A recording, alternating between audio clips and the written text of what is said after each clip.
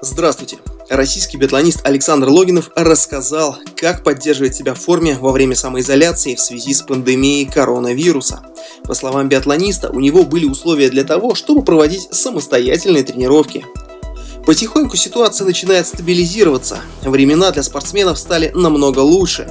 Разрешены тренировки на открытом воздухе в частном порядке. Теперь, чтобы мне выйти в лес, проблем нет, сказал Логинов.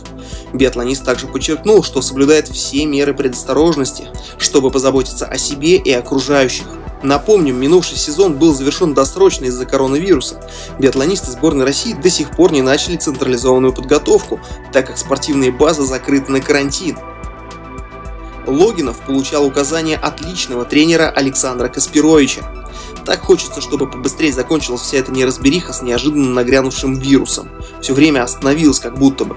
Очень бы уже хотелось побыстрее встретиться вновь со спортсменами, увидеть их на соревнованиях, поболеть за них. Ну и в конце концов, пожелать им всем удачи.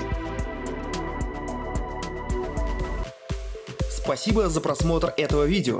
Не забудь подписаться на канал и нажать на колокольчик, чтобы не пропустить новые выпуски. Мы будем также рады вашим лайкам и конструктивным комментариям. До новых встреч!